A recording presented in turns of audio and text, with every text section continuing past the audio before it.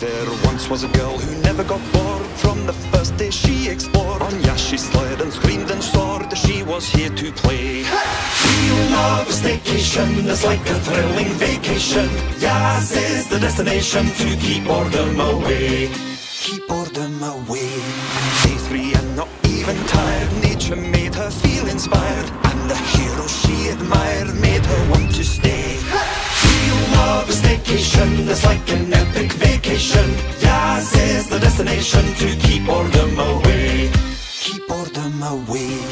Five days and she'd not complained With all the wonder Yas contained. She couldn't be more entertained. Real love staycation is like an awesome vacation. Yas is the destination to keep boredom away.